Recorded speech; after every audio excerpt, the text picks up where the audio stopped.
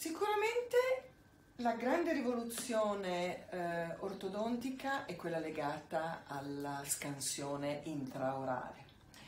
Ma eh, oggi vi voglio parlare di un altro tipo di scansione, la scansione facciale, cioè questa immagine 3D che noi possiamo ottenere con degli scan facciali che possono essere anche oggetti molto semplici da applicare sul nostro smartphone o essere molto più elaborati e eh, complessi. Però anche lì eh, cosa ne facciamo di queste immagini? Queste immagini non devono soltanto fornirci un'idea di com'è il paziente, ma devono essere utilizzate come mezzo diagnostico.